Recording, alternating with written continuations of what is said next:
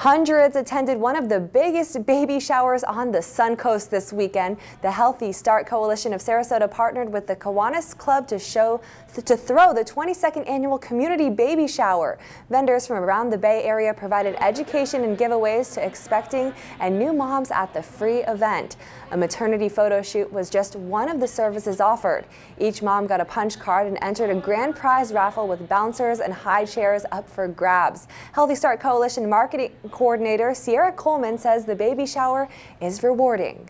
We're really touched. We do a grand prize raffle at the end um, where we give away uh, strollers and pack and plays and um, you know every year there's always somebody that's you know I really needed this I didn't have this and thank you so much for it. Door prizes were donated by the Kiwanis Club of Sarasota.